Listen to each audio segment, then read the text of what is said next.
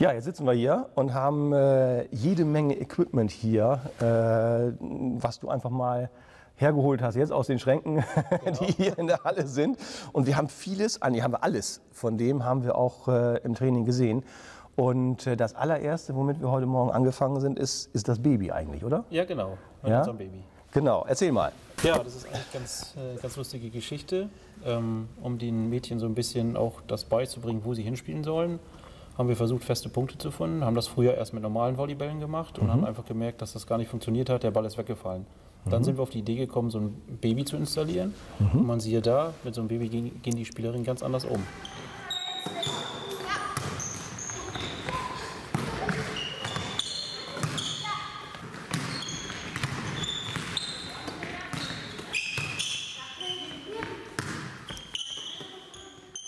Okay, also man sieht, Baby heißt, äh, ne, es hat ein Gesicht. Genau. Ja, und hier sehe ich äh, Heißkleber wahrscheinlich, ne, wo ein paar Haare, äh, Zöpfe angeklebt sind, ganz einfach. Genau. Und es ist natürlich ein alter Volleyball. Ne, die etwas Älteren unter uns kennen, kennen diese alten Volleyball noch, die noch nicht so farbenfroh waren wie die, wie die heutigen. Und äh, dann hat man ja einen deutlichen Unterschied. Also das hast du im Training gemerkt bei den Spielerinnen. Das Verhalten war anders? Sofort. Also die, äh, die gehen da wirklich um und sagt, deshalb nennen, sie, nennen wir sie auch Babys, mhm. weil die wirklich äh, ja, richtig aufpassen auf diese kleinen Babys ja.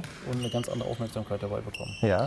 Was ist die Zielsetzung? Also das heißt, das ist ja eigentlich ein Störfaktor in dem eigentlichen Spiel. Genau. Und die Zielsetzung ist welche? Ähm, es gibt mehrere. Eine Zielsetzung ist halt, ähm, dass die gleich sehen, wer das Baby in Hand hat.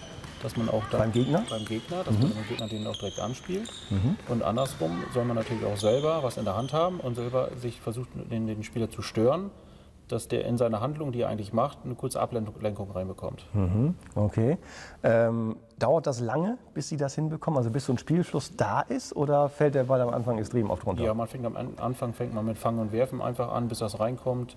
Und dann geht das eigentlich ziemlich schnell, bis die, bis die Mädchen das dann merken, wie, mhm. das, wie schön das auch funktioniert. Mhm.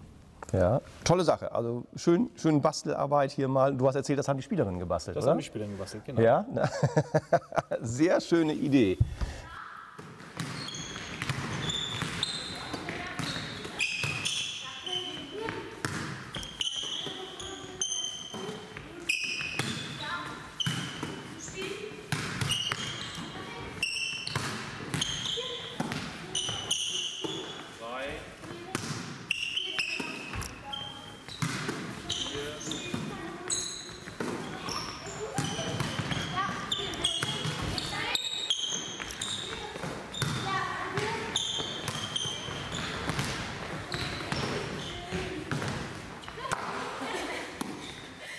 Okay, kommt zusammen, Bälle weiter.